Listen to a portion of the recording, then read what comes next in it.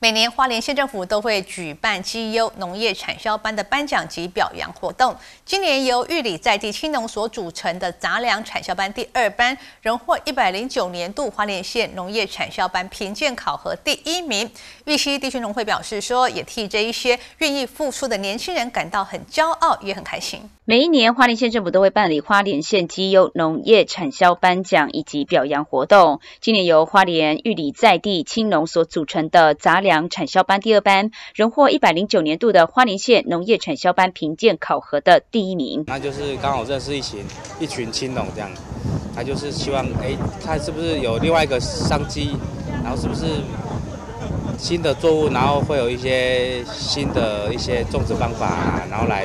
尝试一下。目前花莲县总共有一百九十五班农业产销班，其中农作类有一百七十九班，渔牧类十六班，合计班员人数高达了三千五百三十八人，是一支相当庞大的农业尖兵。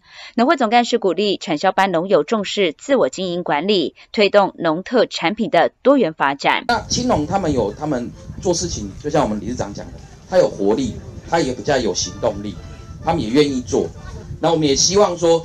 这个他们还在前进当中，不是已经走到峰最高峰了吼。花莲县政府表示，产销班设立后，每两年要进行一次考核。受评产销班首先需要历经辅导的农会、与会、合作社以及公所等单位的初评，再由县府行政院农业委员会农粮署东区分署、行政院农业委员会花莲区农业改良场派员组成评鉴小组来办理复评的作业。